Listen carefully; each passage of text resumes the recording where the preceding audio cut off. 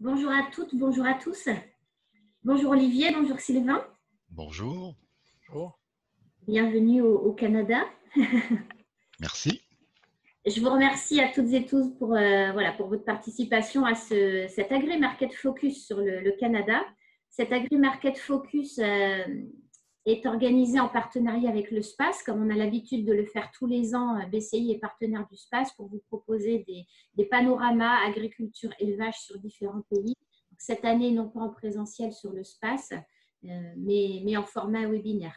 Donc, euh, il nous sera tout aussi facile et possible d'échanger néanmoins, même si c'est en format, en format virtuel. Euh, N'hésitez pas à prendre la parole tout au long du, webinaire, à nous couper, à poser vos questions, à partager vos expériences, euh, qu'elles soient positives ou négatives d'ailleurs, parce que vos expériences à chacun sont, des outils euh, très intéressants pour, les autres participants. Donc surtout, surtout, n'hésitez pas à, demander la parole. Vous pouvez le faire par écrit avec le petit module questions-réponses. Si toutefois vous préférez intervenir de manière orale, vous pouvez demander à ce que j'active votre micro et je le ferai euh, au cas par cas individuellement. Je n'ai pas activé les micros de tout le monde parce que vous êtes très nombreux et par expérience, ça devient vite euh, ingérable et la pollution sonore est, vraiment très gênante quand les micros de tout le monde sont, ouverts. Donc il n'y a que euh, nous qui sommes visibles en, vidéo et, que nous trois, Olivier, Sylvain et, moi, qui sommes, audibles. Donc pour ce, pour ce webinaire. Je vous précise que ce webinaire est enregistré, donc le podcast sera disponible sur notre plateforme BCI Info, sur le site de bretagnecommerceinternational.com. Et la présentation sera elle aussi euh, disponible sur, euh, sur, cette même, sur cette même plateforme. Je ne vais pas m'étendre sur euh, BCI, hein, vous nous connaissez tous déjà pour la, plupart. Donc, brièvement pour nous, nous représenter, on est une association financée par le Conseil régional de Bretagne et la Chambre de commerce euh, de Bretagne. Euh, notre mission principale, c'est d'aider les sociétés bretonnes dans leur développement international, mais aussi d'identifier et d'accompagner des projets d'investissement étrangers en Bretagne. À votre service, il y a toute une équipe et un réseau mondial. Une équipe basée ici en Bretagne de chargés d'affaires euh, et de chargés euh, de développement à l'international basés dans les CCI territoriales et au siège ici à, Rennes. On s'appuie pour vous accompagner sur un réseau de plus de 200 prestataires agréés basés dans plus de 100 pays.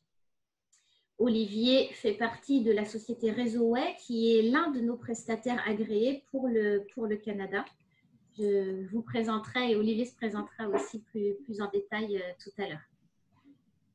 Donc, les différents services que l'on vous propose, c'est de l'aide à la structuration, du conseil technique et réglementaire, euh, du conseil pour la, vente, l'achat, l'implantation, les ressources humaines. D'autres services que l'on vous propose aussi, c'est bah, d'organiser pour vous des réunions d'information et des webinaires comme celui-ci aujourd'hui. On organise beaucoup depuis, notamment depuis le début de cette année 2020, des délégations d'acheteurs, ce qu'on appelle des opérations rendez-vous acheteurs, qui vous permettent d'être mis en relation directe avec des, acheteurs de grandes enseignes, de grands comptes et, des prospects euh, de, grands opérateurs dans différents secteurs et différents, différents pays.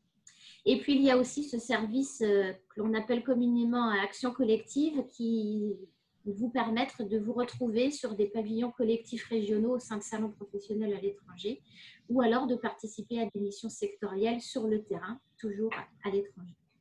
Toutes ces informations-là, vous pouvez les retrouver sur le site web de Bretagne Commerce International. Je vais présenter nos, amis de, de cet après-midi. Donc, euh, Olivier, pour commencer, merci à toi, Olivier, d'être euh, d'être avec nous cet après-midi. Olivier, tu es associé euh, de Réseau Well, l'un de nos prestataires, comme je l'ai dit tout à l'heure, pour le, pour le Canada. Olivier, tu es diplômé en économie, gestion et en marketing communication, c'est ça? Eh oui, exactement. J'ai commis ça. C'est Tu as commis ça. Il y a pire comme, euh, comme, euh, comme crime. Euh, Olivier a dirigé quelques plus, enfin, a, a dirigé au- au- des agences conseils. Euh, il dispose aussi d'une expérience de plus de 25 ans dans le domaine des affaires, tant au Canada que- qu'en France.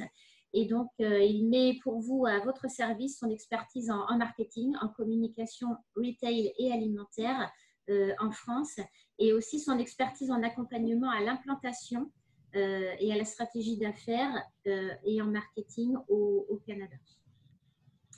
Notre autre conférencier de cet après-midi est Sylvain. Merci beaucoup Sylvain de, te joindre à, Olivier pour apporter euh, ton expertise complémentaire pour, euh, pour ce webinaire. Donc Sylvain, tu es euh, vice-président en développement des affaires du groupe Transit. Et toi, ton expertise, donc c'est, tu, es spécialisé en logistique, transport international, douane, entreposage, pardon, ainsi qu'en sécurité. Merci de l'invitation. Avec, grand plaisir. Euh, tu es bachelier en sciences de l'Université du Québec à Montréal et tu as cumulé de nombreuses expériences au niveau des opérations, de la vente, de la formation et des, affaires. Euh, tu es toi-même propriétaire d'entreprises euh, transigeant à l'international. Et chez le groupe Transit, donc tu diriges les équipes de vente et de services clients sur les Amériques depuis les bureaux de Montréal, de Miami, notamment Floride. J'ai bien résumé vos bios, les garçons, ça vous convient? Parfait. Très Merci, Karen. Merci. On va rentrer directement dans, le vif du sujet, si vous voulez bien. Donc, au sommaire de ce, de ce webinaire de cet après-midi, euh, c'est tout d'abord de vous exposer tout ce qu'il faut savoir sur le, sur le marché euh, de l'agri au Canada.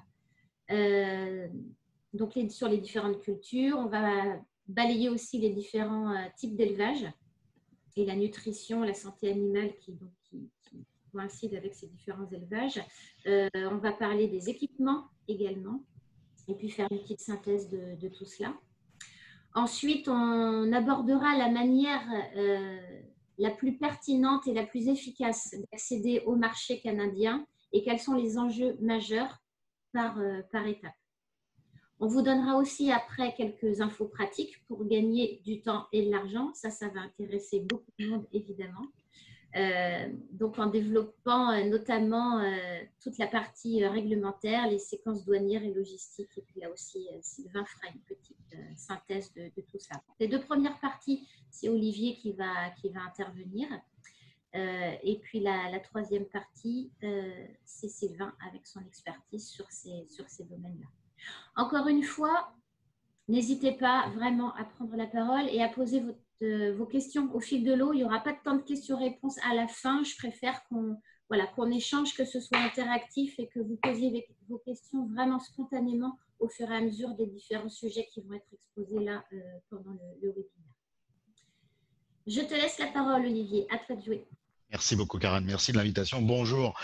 Bonjour à tout le monde. Euh, on va démarrer par, euh, par cet exposé sur le marché et il faut savoir que, comme l'a dit Karen au début, cette, euh, ce webinaire est enregistré, ce qui veut dire que si vous avez le loisir, le désir de, de revenir sur un certain nombre d'informations, euh, ce sera possible en visionnant et également le document que qu'on vous présente aujourd'hui sera disponible, ce qui fait que vous aurez accès à ces informations. Je le précise parce qu'il y a pas mal de chiffres, pas mal de données, et euh, ça peut être intéressant d'y retourner le cas échéant ou de communiquer avec nous, bien entendu, euh, pour les détails. Alors, excuse-moi Olivier, je te coupe. Effectivement, il y a une chose importante que je n'ai pas précisée, mais bon, vous avez l'habitude, vous savez comment comment on fonctionne avec nos, nos prestataires. il est tout à fait possible d'aller plus en avant et d'approfondir le sujet en fonction de vos, préoccupations et de vos projets ultérieurement après le webinaire en organisant des, visios ou des, des conf calls. Donc, euh, n'hésitez pas à nous le demander aussi, soit par mail après le webinaire, soit là pendant le, pendant le déroulé. Mais euh, on est à votre disposition, bien évidemment, après pour, euh, pour échanger individuellement avec chacun d'entre vous. Absolument. non, non, mais aucun problème tu as, raison. Et puis on voit que le nombre de participants a, augmenté à près de, 80% de l'objectif. Donc on est, on est ravi de s'adresser à tout le monde aujourd'hui. Euh, le premier élément, je pense qu'il faut surtout situer, et rassurez-vous, on, va parler du Canada aujourd'hui, mais il est important de, situer le Canada dans l'Amérique du Nord parce que euh, vous allez vous en apercevoir au cours de tout notre exposé, il y a beaucoup de beaucoup d'intégration et d'interdépendance entre le, marché euh, des USA comme tel et le marché du Canada. On a souvent tendance à parler de l'Amérique du Nord en décrivant, qui comprend aussi, il faut le savoir, le, Mexique sur le plan purement géostratégique. Mais dans le détail, on parle souvent de l'Amérique du Nord en parlant du Canada et des États-Unis.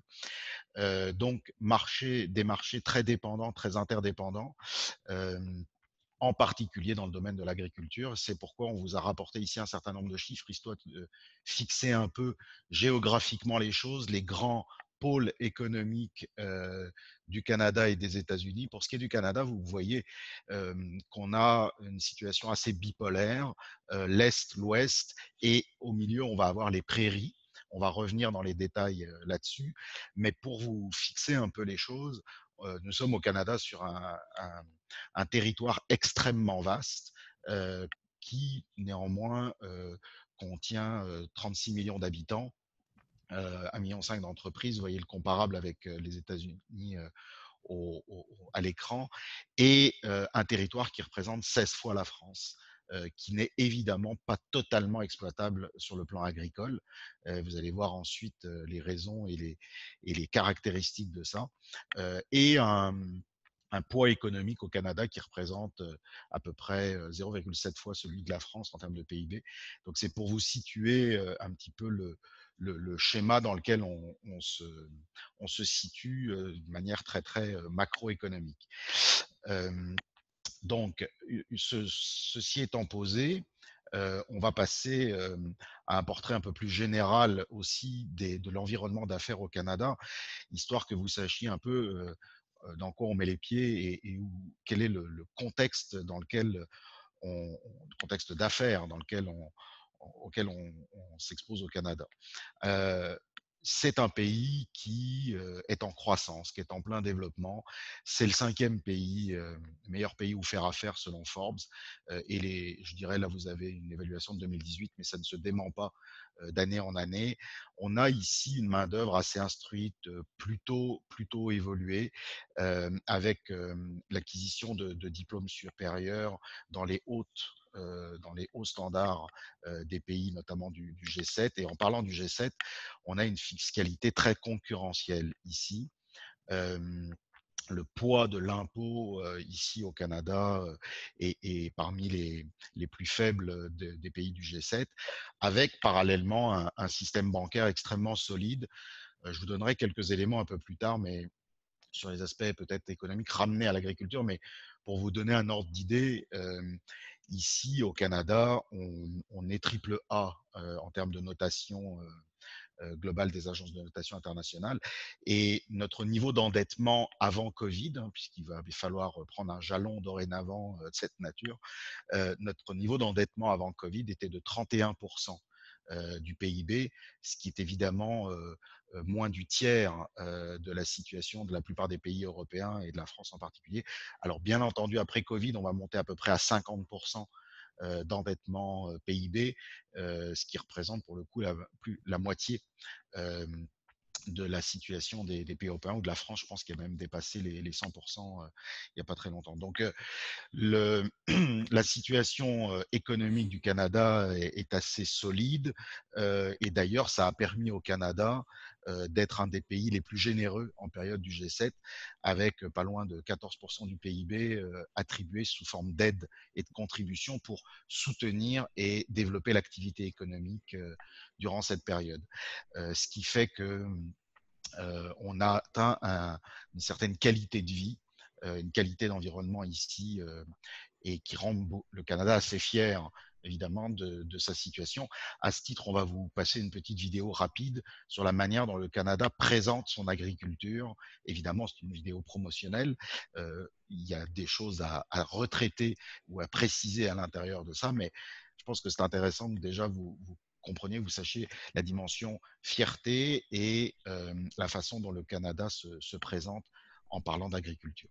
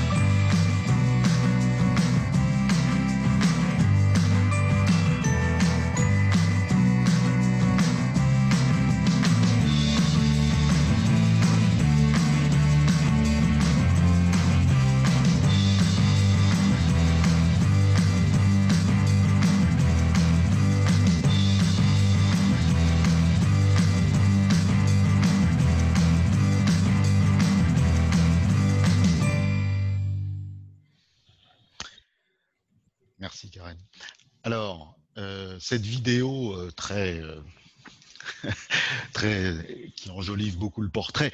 Vous l'avez vu, euh, expose des chiffres qui euh, cumulent l'activité agroalimentaire et l'activité agricole. Alors, on va regarder, nous, euh, des choses autant qu'on puisse les démêler entre ces, deux dimensions qui souvent sont un peu fusionnées dans les statistiques ou, les informations. Mais si on, essaie de resserrer, on parle bien donc du Canada avec vous le voyez, environ 2 300 000 emplois, un emploi sur 8, grosso modo 4 millions d'entreprises qui, sont situées dans ce secteur et environ 50 millions d'hectares de terres cultivables, ce qui représente 1,7 fois la France en termes de surface occupée par l'activité agricole.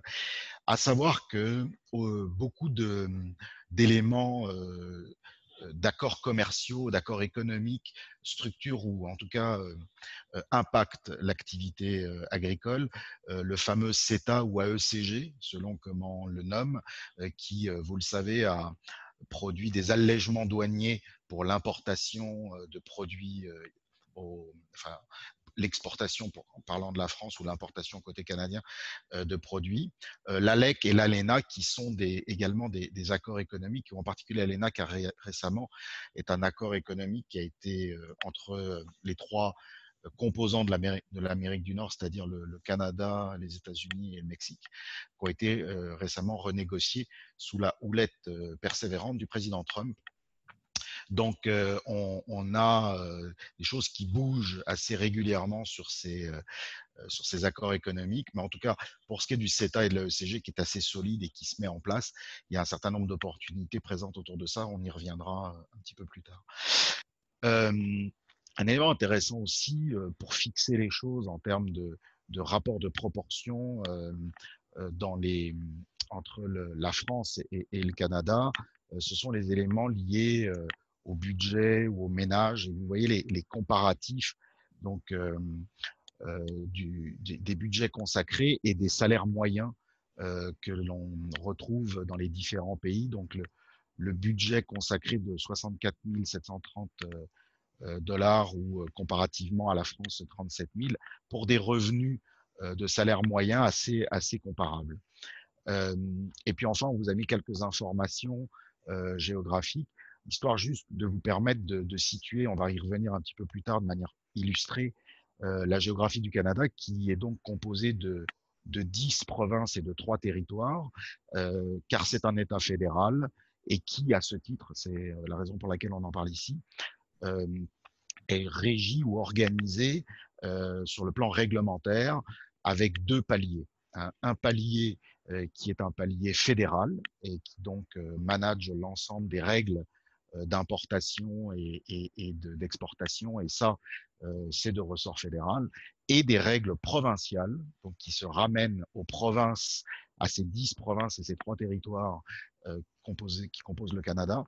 une carte tout à l'heure vous illustrera ça plus précisément. Et là aussi, on peut trouver des réglementations spécifiques pour, dans ces provinces qui vont impacter ou jouer en fonction de, de tel ou tel produit ou de tel ou tel équipement.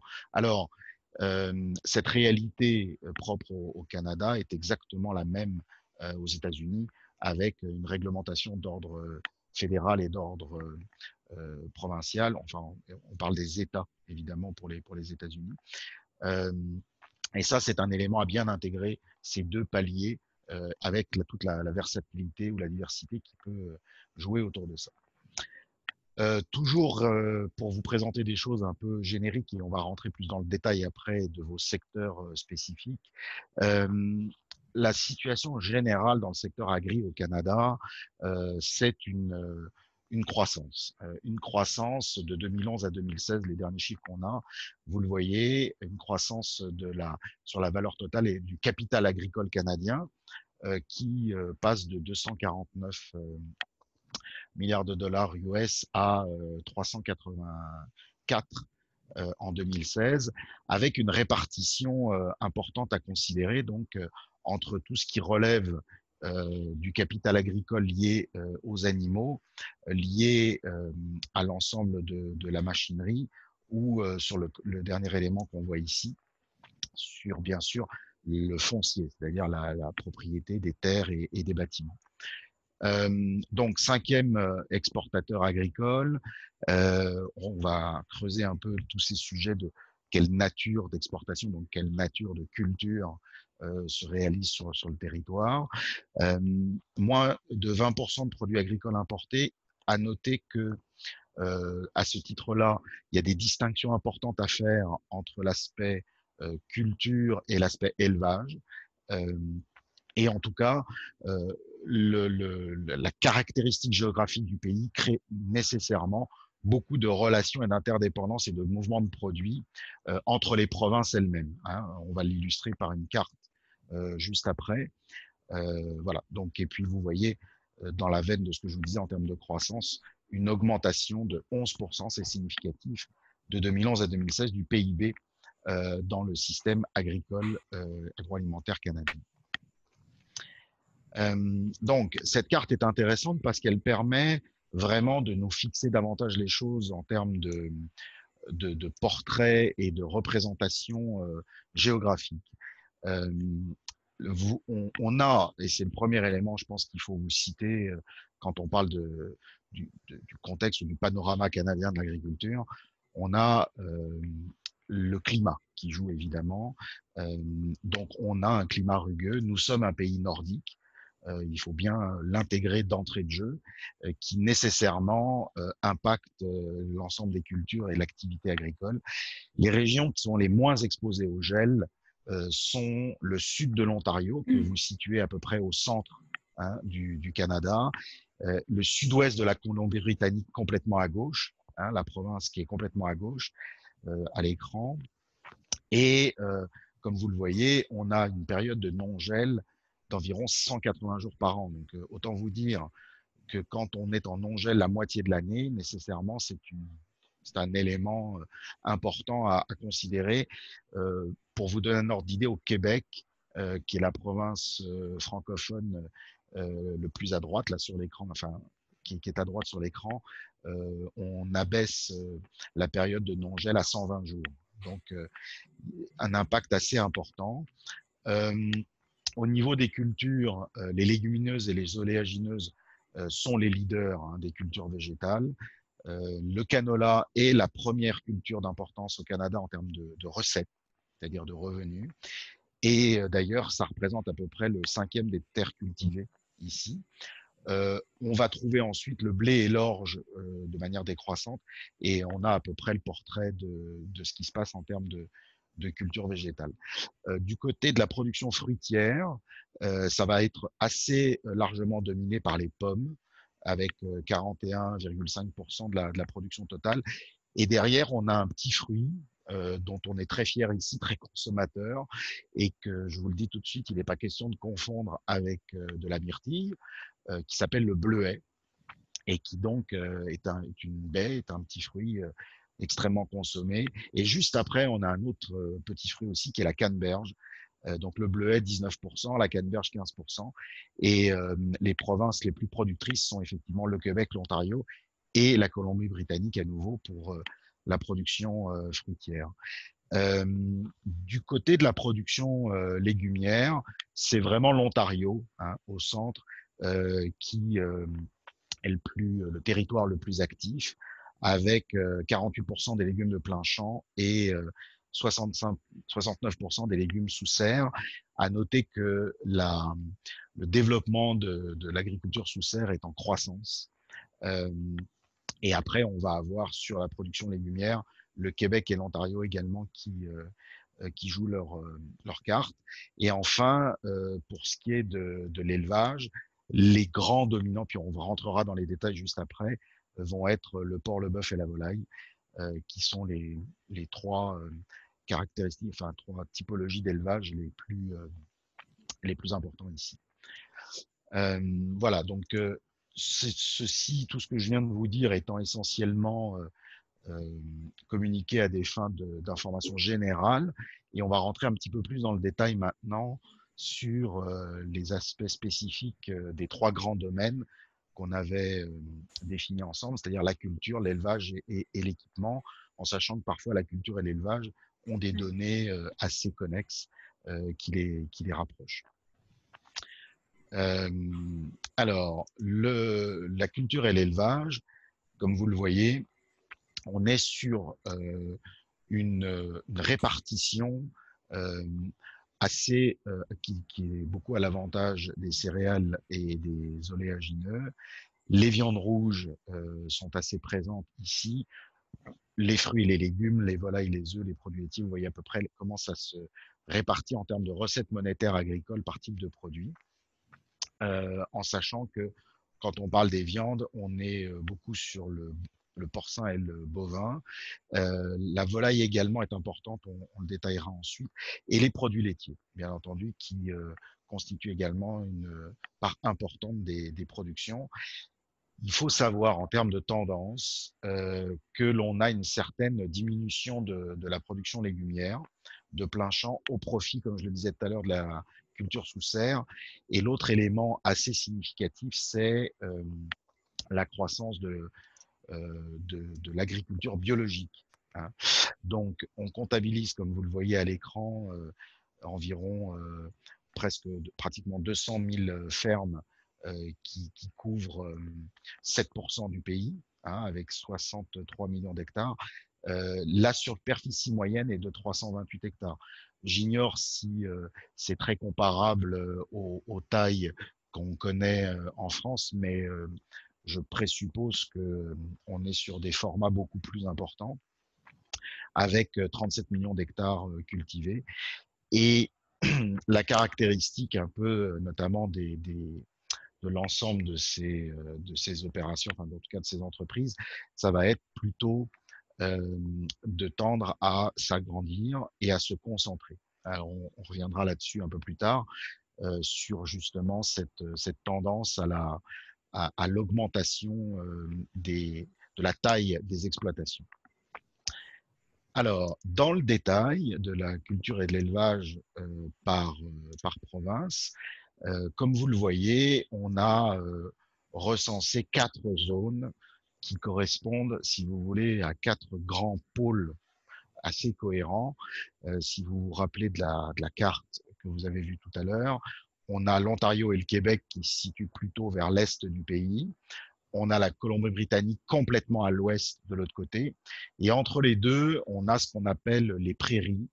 Euh, donc, comme leur nom l'indique, ce sont des, provinces, Saskatchewan, Manitoba, Alberta, euh, qui sont des, des provinces qui ont des caractéristiques assez semblables en termes de géographie. Et donc, on les nomme les prairies. Euh, et effectivement, les prairies, pour commencer par elles, c'est la région agricole majeure, euh, donc euh, qui, pèse d'ailleurs même sur le plan mondial. Quand on voyait tout à l'heure la vidéo de Agriculture Canada qui disait on est des exportateurs mondiaux, euh, c'est là que ça se passe hein, en termes de, de, culture. c'est 94% du territoire qui, est, qui, est, qui se situe là. donc, c'est la culture du canola, c'est la culture du blé, de l'orge, euh, en particulier en Alberta, et on va trouver euh, de, de l'élevage de bovins et évidemment de, de céréales fourragères. Donc vous avez une représentation pour vous situer un peu géographiquement où ça se trouve. Et euh, le canola particulièrement, c'est c'est vraiment la culture qui contribue le plus au, au PIB. Euh, du côté de la Colombie-Britannique, donc complètement à, à l'ouest, c'est la culture fruitière, on le disait tout à l'heure, les fruits, les légumes, les noix et les baies dont, nous parlions. Mais caractéristique très spécifique euh, de la Colombie-Britannique, c'est l'aquaculture. Euh, quelques chiffres à suivre dans la présentation là-dessus, euh, notamment sur le saumon, où l'aquaculture du saumon est, très très très très concentrée du côté de la Colombie-Britannique. Pour le reste de l'aquaculture, on va le retrouver complètement de l'autre côté, dans ce qu'on appelle les provinces maritimes, mais je vous en parle un petit peu plus tard. Du côté du Québec, qui est souvent la province la plus connue euh, de France, c'est la, province euh, francophone euh, où il y a beaucoup de, beaucoup de Français et beaucoup de, beaucoup de relations bilatérales entre la France et, et en, particulier, en particulier entre la Bretagne et le Québec. c'est le pays du sirop d'érable, le Québec bien sûr. On trouve ici de la production laitière, porcine, de manière extrêmement importante. c'est la culture du maïs, du soja, du soya et l'élevage de la volaille aussi beaucoup. Le produit, les produits de l'érable, L'érable, on en parle beaucoup, mais c'est pas non plus des volumes euh, extrêmement, extrêmement euh, conséquents euh, comparativement aux autres activités de, de, la, de la culture ou de l'agriculture. Néanmoins, c'est une fierté locale qui est de plus en plus d'ailleurs compétitionnée avec le Vermont. Le Vermont, qui est la province, l'État américain qui, touche le Canada, euh, sur la partie est euh, du pays, où on trouve également euh, beaucoup de, production d'érable. L'Ontario, donc l'Ontario, c'est l'horticulture en particulier, les produits laitiers, le porcin, le bovin, le porcin, les plantes oléagineuses, pardon, et la culture du blé et du maïs. Alors, les, les grandes cultures, hein, en parlant de, notamment aussi des oléagineux, les grandes cultures et oléagineux canadiens, c'est vraiment on peut le dire aujourd'hui, une référence mondiale, production en croissance. Et il faut savoir que le gouvernement fédéral euh, soutient énormément cette activité par des programmes de subvention et, des programmes de, soutien à l'équipement et de soutien à la recherche. Et c'est un contexte d'ailleurs qui, on le verra plus tard dans les opportunités, peut également profiter à des savoir-faire ou à des, ou à des des, contributions françaises parce que il y a aussi aujourd'hui besoin de trouver des nouvelles solutions, des nouvelles manières de faire et les marchés plus matures comme par exemple le marché, marché français, peuvent le cas échéant amener leur technologie ou leur savoir-faire à cet égard. Donc le, le, le, pour le gouvernement fédéral, c'est quelque chose d'extrêmement important que de mettre en avant ces, ces cultures. Euh, alors on va poursuivre vous avez avec des, des questions peut-être? N'hésitez pas, encore une fois, le, webinaire se veut interactif, donc n'hésitez pas à poser vos, questions et à intervenir. Merci. Euh, du côté de l'élevage, alors euh, j'imagine que la tendance canadienne n'est pas, euh, n'est pas différente de ce qu'on peut trouver ailleurs. on a effectivement, comme je le disais, une une diminution du nombre d'exploitations, mais une augmentation des tailles. Et le dernier recensement dont je parlais tout à l'heure, de, près de 200 000 exploitations agricoles, il faut savoir que c'est euh, dominé par des petites exploitations encore. La moitié de ces 200 000 exploitations sont de petite taille et les grandes, par contre, qui représentent 8% du nombre, font 60% des recettes. Donc là, on est sur une situation extrêmement euh, particulière qui va tendre à euh, s'inverser, c'est-à-dire que euh, les, grandes exploitations vont devenir de plus en plus grandes il va y avoir de plus en plus de grandes exploitations au détriment des petites qui vont se faire reprendre et, et qui, de fait, vont devoir évoluer dans leur modèle d'affaires et qui, aujourd'hui, n'ont pas forcément les moyens de se convertir aux solutions technologiques nécessaires euh, en termes de santé des animaux, de traçabilité, d'évolution euh, du traitement de l'élevage. Et donc, ce sont les grandes exploitations qui, de plus en plus, ont les rats assez solides pour faire évoluer le marché et aller vers, ces, euh, vers cette concentration et vers les nouvelles manières de faire. Alors, on le voit ici au niveau de, l'activité bovine, le cheptel diminue, en grande partie, euh, c'est l'effet de l'augmentation des prix, mais c'est aussi l'effet de la consommation de viande rouge bovine qui évidemment euh, est à la baisse. Euh, donc depuis 2011, on a, les chiffres qu'on a, c'est 2011-2016. Hein. ça s'est appris, ça a baissé de 2%, et c'est une tendance qui va probablement se, poursuivre. Le cheptel, vous voyez, sur la reproduction est en baisse de 1%.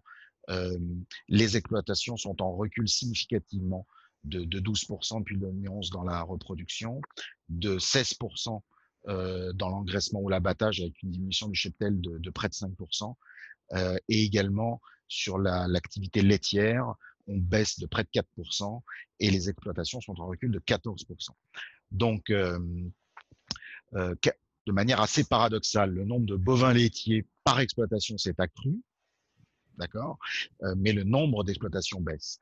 Et donc, c'est l'activité laitière qui soutient un petit peu plus, je dirais, la dynamique de l'activité bovine, contrairement à l'engraissement, l'abattage, la reproduction. Du côté de l'activité porcine, là, on est dans une dynamique complètement inverse. On a une croissance de 11% par rapport à, 2011, avec des, nombres d'exploitations agricoles qui augmentent et un nombre moyen de porcs par exploitation qui lui baisse un peu afin d'avoir probablement plus de conformité aussi aux nouvelles pratiques d'élevage et évidemment par le biais de se conformer aux enjeux sanitaires mondiaux. Alors évidemment, je parle là des, crises qui sont intervenues dans la viande de porc, mais aussi de s'adapter aux comportements protectionnistes et notamment comportements protectionnistes chinois. Euh, le dernier volet, donc euh, concernant plus la volaille, toute l'activité avicole, là on a aussi euh, une croissance sur le plan des œufs comme de la viande, et c'est aujourd'hui la première protéine animale consommée, la volaille au Canada, avec près de, de 35 kilos par habitant. vraiment aujourd'hui, c'est c'est une demande forte sur l'activité avicole, avec, il faut le savoir, dans ce domaine-là, une régulation euh, des prix et des quotas euh, par un mécanisme de gestion de l'offre, euh, donc qui joue évidemment sur les niveaux de production. Donc, ils sont assez matures et, évolués du côté avicole pour gérer leurs prix et préserver leur, leur activité et leur marge. voilà, ça c'est un élément important à savoir au niveau des, des différentes catégories d'élevage. un petit point sur les cultures maintenant en vous présentant ce, présentant ce qui vous donne des informations un petit peu sur le processus et la manière dont ce, marché se, structure avec les phytogénéticiens, les producteurs semences, les conditionneurs de semences, les détaillants, les agriculteurs, et la portée des, des, dans, pour chacune de ces catégories en nombre et en activité, je ne vais pas forcément rentrer dans les détails et tout vous lire parce que le temps file et qu'on veut garder du temps pour les autres sujets, mais ceci étant simplement pour vous dire qu'il y a un certain nombre d'éléments juridiques et d'éléments réglementaires à considérer. tout à l'heure, Sylvain va, y revenir pour vous l'exposer, avec des lois sur les semences, sur la protection des obtentions végétales, qui, qui, est régie par la l'ASIA, donc l'Agence canadienne de l'inspection des aliments, et qui intervient sur l'ensemble de la chaîne euh, que vous voyez ici, euh, tant au niveau évidemment de, la recherche des producteurs, des conditionneurs, etc.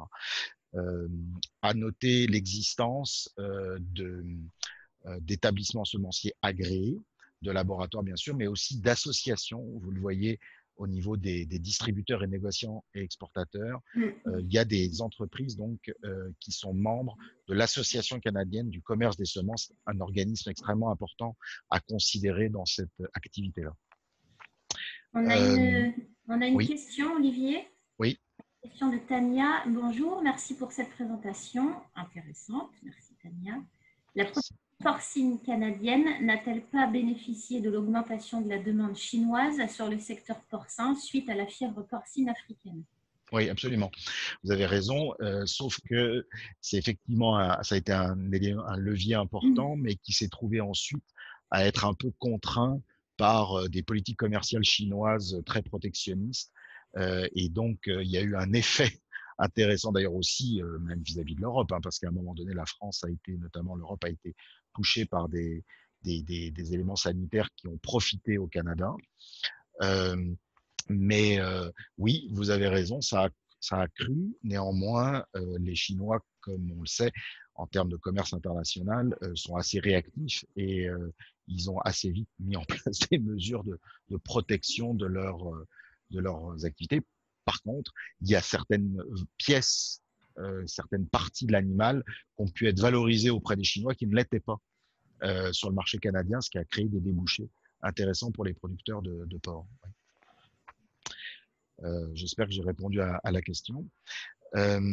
alors, je, voulais juste aussi situer une chose en parlant des, cultures. Je reviens sur la question de la croissance du bio, et en particulier au Québec. aujourd'hui, la responsabilité écologique des, exploitations agricoles prend une part vraiment de plus en plus importante et on cherche des solutions, ce qui veut dire que toute cette chaîne-là de la culture euh, est aussi très influencée et très marquée en ce moment par euh, les enjeux liés à l'agriculture biologique. Euh, quelques éléments maintenant à vous partager sur la, nutrition animale. Donc, on est sur une volumétrie d'environ 30 millions de tonnes par an, des revenus de, 4 milliards de dollars par an également. On compte environ 500 meuneries. Donc, vous voyez ici la répartition à nouveau entre le Québec, l'Ontario, les prairies, c'est pas égal, mais je dirais grosso modo, ça se répartit. et la grande partie euh, de, l'approvisionnement est, disponible euh, au Canada lui-même. Donc, vous voyez ici les chiffres euh, sur les, différentes cultures, enfin les cultures majeures dont on parle en termes de, nutrition animale. Je voudrais également vous faire un petit topo sur l'aquaculture, qui est une industrie qui ralentit un petit peu euh, notamment à cause des cours, euh, des cours mondiaux euh, du saumon et également la dépendance envers le saumon de l'Atlantique et le marché des États-Unis. Je vous le disais tout à l'heure, la Colombie-Britannique est vraiment la zone où on produit le plus de, saumon, qui produit 60%, hein, grosso modo, de la production aquacole au Canada en valeur. Et après, ça se passe complètement de l'autre côté, euh, donc à 6000 km. Hein, il y a 6000 km d'écart entre la Colombie-Britannique et les, maritimes. Euh, donc le Nouveau-Brunswick, euh, Terre-Neuve et Labrador sont aussi des, producteurs de saumon. L'île du Prince-Édouard, qui est une province complètement à, l'est, produit significativement les mollusques, hein, près de 40% de, ce qui se fait en mollusques et crustacés. Ça se passe du côté de l'est. Donc c'est assez bipolaire l'aquaculture entre complètement à l'ouest et complètement à l'est. Voilà, ce sont à peu près les, grands territoires qu'il faut considérer. Vous avez ici les chiffres de cette production en tonnes et en dollars. Et on voit bien que c'est un marché qui, qui, se répartit sur ces deux territoires. Je sais qu'on avait parmi les, participants des gens dans le domaine des algues. donc on voulait juste vous mettre une petite information et ça pourrait être l'occasion de, creuser un peu plus le sujet. Voilà, vue du, de la valeur du marché avec un leader à, regarder de près qui est Algavia, euh, donc qui est un producteur et qui est parmi les voilà un leader de sa catégorie. C'est une niche, mais c'est une niche en croissance avec euh, des usages industriels assez variés. on n'a pas beaucoup de chiffres détaillés sur cette activité-là. Euh, dans les statistiques générales, mais en faisant euh, probablement une étude plus poussée, on obtiendrait des choses auprès des acteurs de cette filière.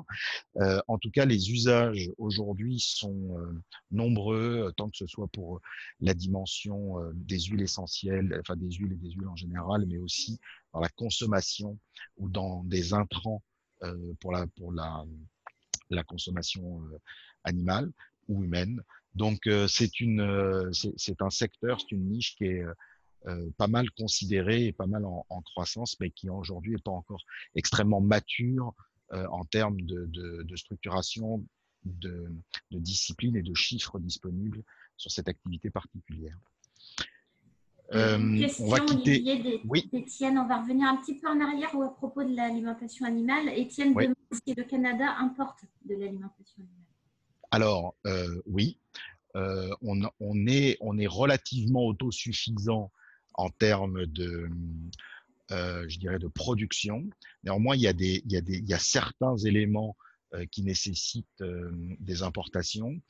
donc, il faut regarder après les détails de quoi on parle exactement. Cependant, je dirais qu'aujourd'hui, ce qui est beaucoup plus crucial pour les, pour les producteurs euh, et surtout euh, dans la nutrition animale, c'est le fait euh, d'aller vers des composants, c'est-à-dire sur le fait d'aller sur des, des prémix et, des formules où la recherche et le développement a amené un niveau de performance permettant d'améliorer la, filière. à cet égard, il y a des investissements importants qui sont faits en recherche et développement et en activité, mais il y a quand même des places à prendre pour justement promouvoir un certain nombre de, de, produits ou de manières de faire ou de solutions qui ne sont pas encore en vigueur ici. Mais en termes de, il ne faut pas forcément escompter une importation de produits de culture directement pour l'alimentation, mais plutôt des solutions ou des, des éléments qui vont compléter ce qui se fabrique ou ce qui se cultive ici au Canada. Je vous propose de, maintenant de, passer à la partie équipement, puisqu'on sait qu'on avait un certain nombre de participants également qui étaient directement concernés par ce sujet, le, marché de l'équipement. alors, donc, on a parlé de, près de 200 000 fermes déclarantes, une valeur marchande dans l'ensemble de la, de la machinerie que vous voyez ici, qui se situe autour de 37 milliards de, dollars US la valeur marchande est répartie euh, bon, massivement sur les, tracteurs, les, véhicules, les moissonneuses batteuses, etc., les fourragères. Vous voyez ici à peu près la, répartition. Le nombre de machines possédées également, c'est les tracteurs qui tiennent le, gros bout de, l'activité. Euh, le Canada est, un, donc comme on l'a dit, hein, vous l'avez compris, un, exportateur mondial de produits agricoles. Donc, évidemment, ça stimule le marché de la machinerie. Sachez-le, euh, c'est vraiment aux États-Unis, évidemment, que euh, l'activité de la fabrication de la machine, la manufacturier euh, d'équipements agricoles se, situe. Donc, c'est le partenaire privilégié. Le, la France, à ce jour, ne figure pas dans le top 5 des partenaires économiques du Canada et ça peut changer. ça peut changer si la France arrive ou que les entreprises bretonnes parfois je voyais un certain nombre d'équipementiers, arrivent avec des solutions ou des, euh, ou des produits, des, euh, équipements qui peuvent euh, faire la différence, notamment par rapport à l'offre allemande, à l'offre italienne et à l'offre chinoise. il y a une place à construire.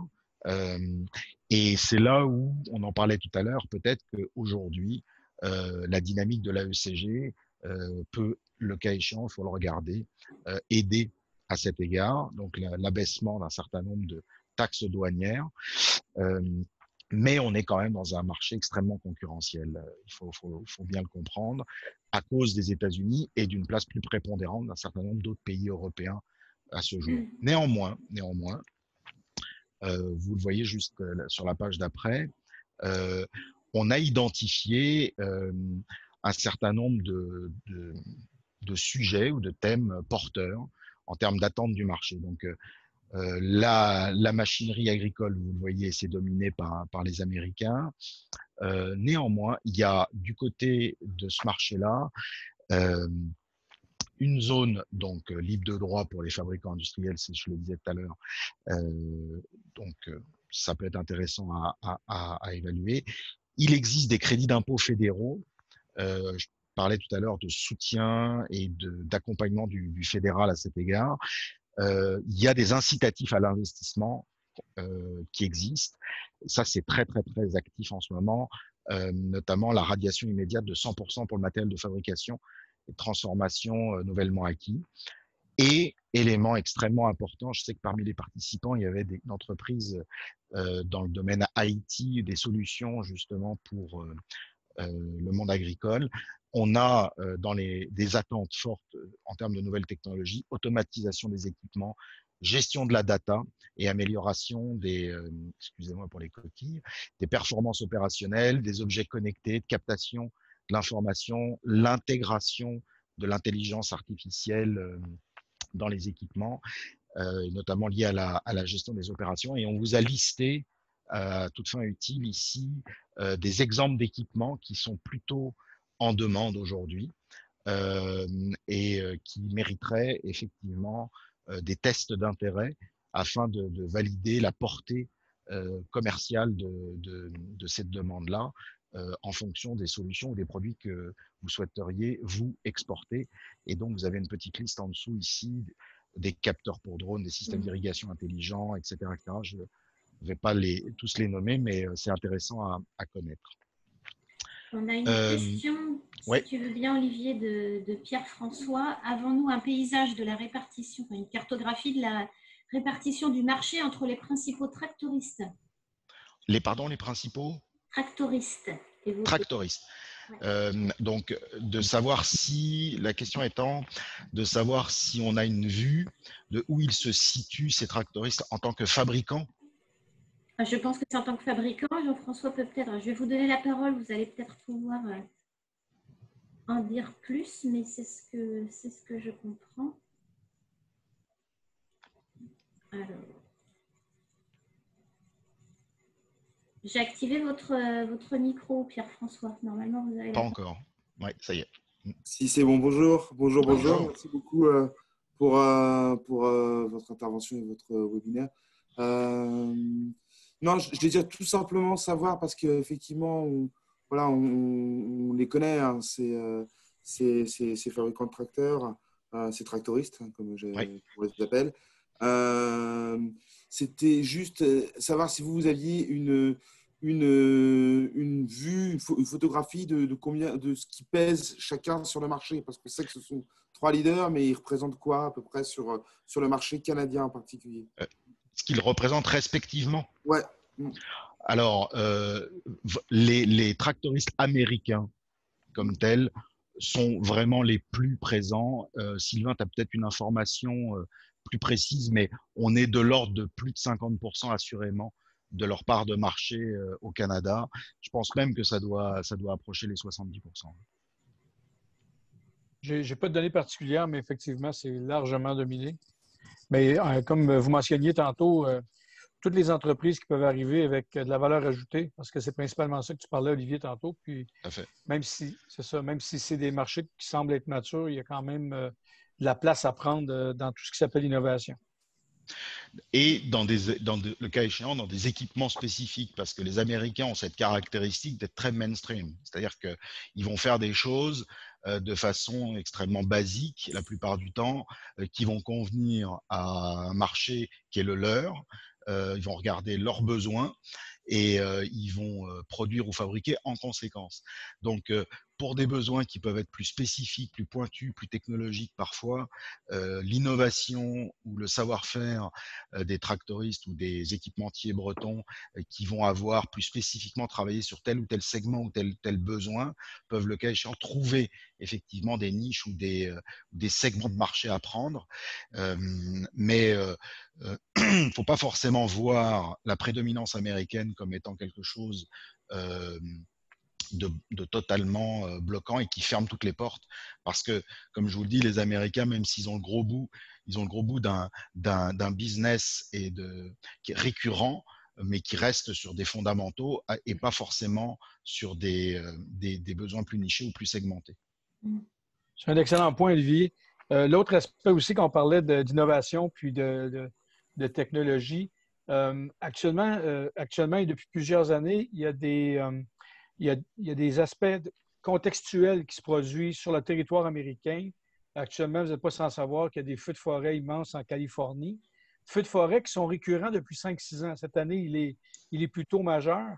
Euh, donc, il y a des changements dans la composition du sol avec, euh, les centres qui sont restés. Donc, euh, s'il y a des entreprises qui ont des expertises sur le traitement après ce genre de sinistre-là, on, on, se propulse maintenant du côté est cette année, la Floride euh, et tous nos États euh, du Sud sont frappés pratiquement par une tornade, par, un hurricane, un, ouragan par semaine qui amène effectivement des zones qui sont souvent pratiquement des déserts, ce qui deviennent inondés, tout ça. Donc, les, tu as raison, Olivier, les entreprises américaines sont assez cadrées, ce qui fait en sorte que le think out of the box, ils ne sont pas toujours là dans le, dans le réactif, dans le 1 an, 2 ans, 3 ans.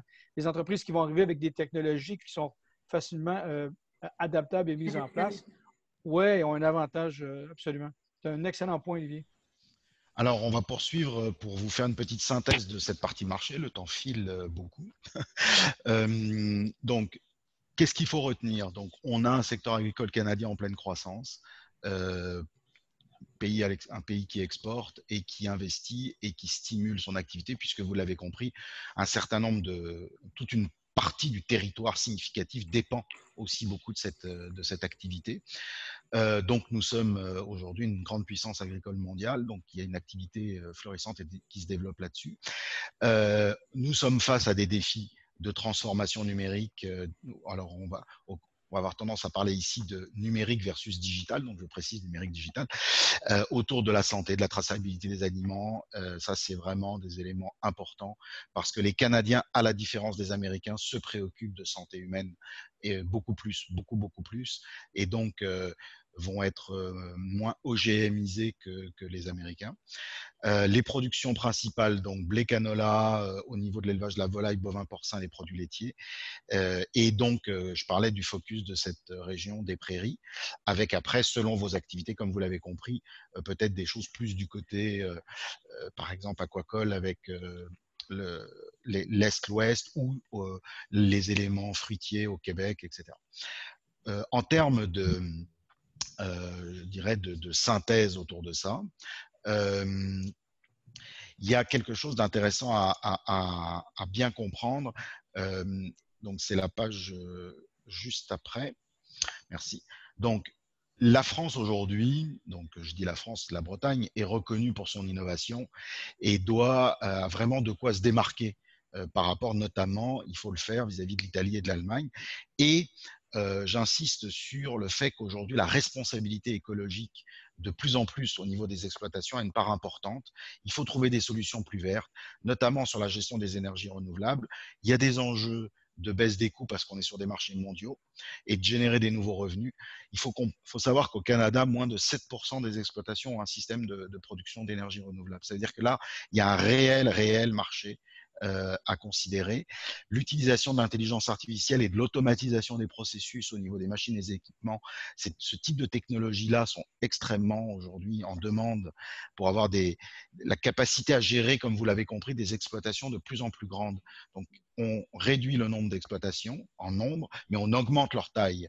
Donc, il faut trouver des façons de les opérer de manière plus rentable et plus euh, efficiente. Euh, on est à la recherche de concepts nutritionnels ou de solutions nutritionnelles qui soient plus performantes et éprouvées, testées sur des marchés domestiques ou plus matures afin d'améliorer la, performance euh, de l'élevage. On a euh, un contexte de marché plus général avec l'augmentation du coût des intrants. Donc, on se pose la question de comment produire plus pour moins cher, évidemment.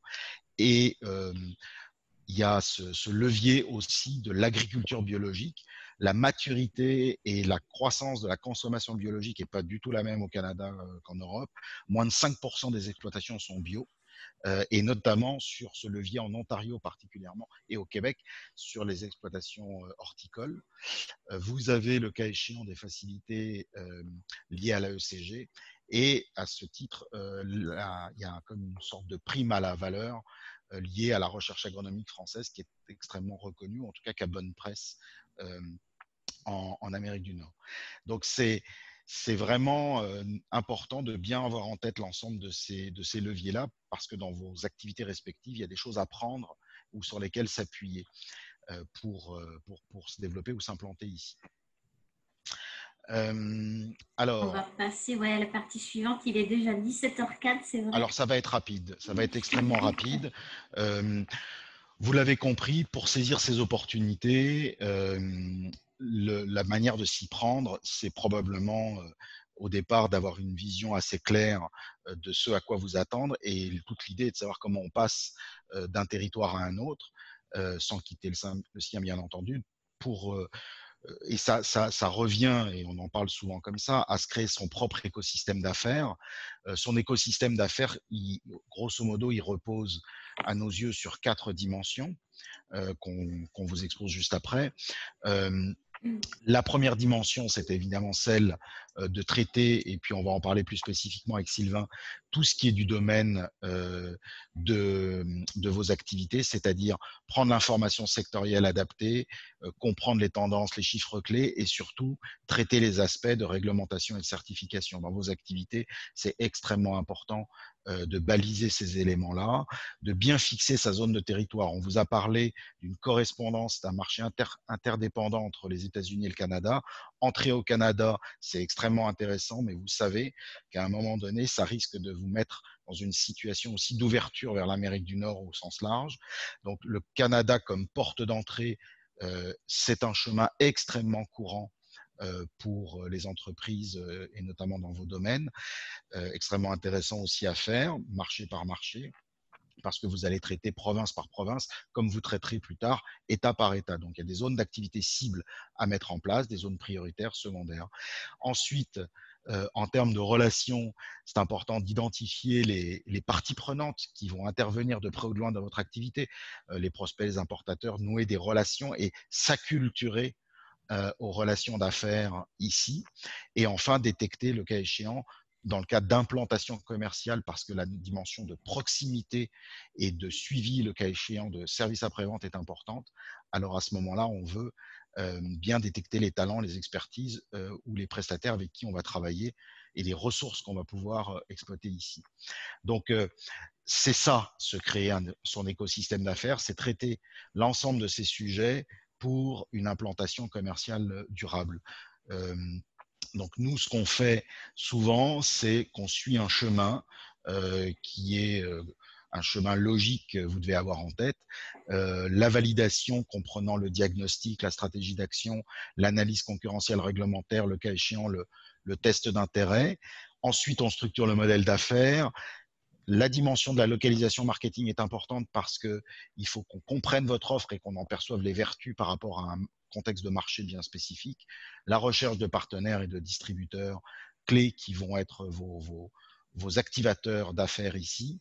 Et ensuite, le cas échéant, la création de filiales ou une acquisition ou une structuration autre avec peut-être euh, du recrutement ou de l'encadrement de ressources que vous envoyez, le soutien au déploiement commercial et ultimement euh, la phase de valorisation qui peut être via des levées de fonds, des financements, des regroupements d'achats, des sessions, etc. Donc ça, c'est un processus euh, dont certainement vous êtes déjà très familier dans vos activités export, puisqu'on a vu que bon nombre d'entre vous euh, exportent déjà, donc c'est pas nouveau. Et euh, c'est souvent comme ça que ça se, ça se structure.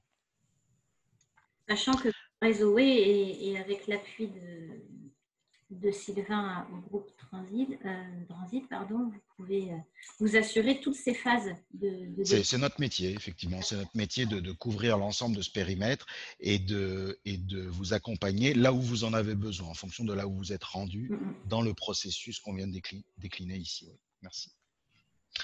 Euh, voilà pour l'approche marché et pour les clés mais on ne voulait pas trop s'apesantir sur comment accéder à un marché dans le sens où vous avez, selon nous, beaucoup déjà d'expérience à cet égard. Néanmoins, il était intéressant de vous lister un certain nombre d'informations spécifiques au Canada pour vous faire gagner temps et argent, comme on l'a écrit, au travers des aspects réglementaires, douaniers, logistiques.